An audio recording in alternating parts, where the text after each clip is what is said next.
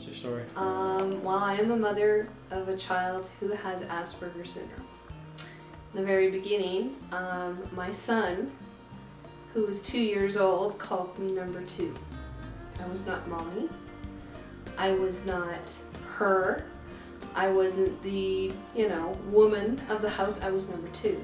Daddy was number four, and Kayla, his older sister, was number five. We kind of thought there was something a little, you know, suspicious going on. He had, he was a normal kid, but he just wouldn't talk. And we thought, okay, because he had an older sibling of eight and a half years, you know, she did all the talking for him, and he did basically all the grunting and the pointing. But it was something a little more. With the advisory of a, a woman from a program called the Blue Baby Ribbons Society, she says, let's just do an assessment on him, see what happens. Well, he was severely delayed in speech language. Lisa, there's a bunch of red flags going on here, and it's pointing towards autism. So it was something that we chose not to ignore. We chose to pursue it and find out what was going on. And the hurdles we had to jump.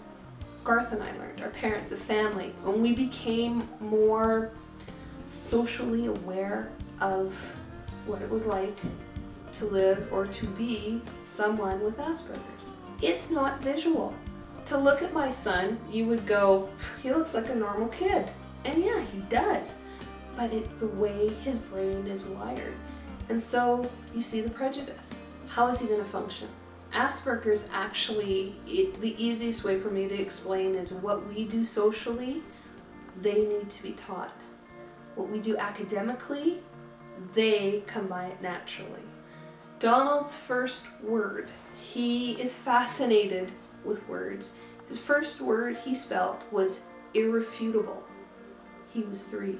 And we live with it. I mean, this is our child. We love him the same way as any other parent would love their child. Um, he thinks different. He acts different. Um, he questions things socially because he does not understand social. Um, he, he's, he's academically fine. Comprehension is a little, you know, off the wall, but it's like his little mind is a computer. And to be the parent as the programmer is amazing. It's like I think every parent should have an Asperger's child because they just absorb like sponge, keep it in a file in their brain, and recall it when they need it. Donald's eight now.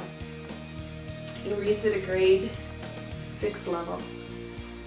He does math, of course, as a grade three student, but he comprehends grade 9, 10, 11, and 12 uh, type mathematics. As parents, I love my son. I mean, he's no different than any other kid, right? Okay, so he thinks differently. It's a good thing.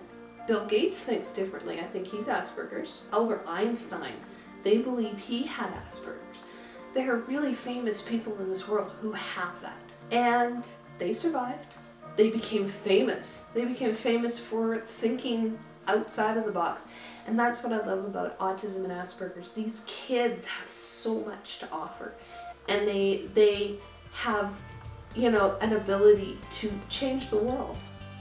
And if we don't help them in some way, shape, or form, we could be laying stagnant forever and ever.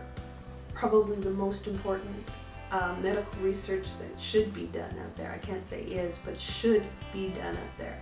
You know, just not so much as a cure for autism or Asperger's, but an understanding and a be able, the ability to be able to cope and grow and even learn, self-learn about it.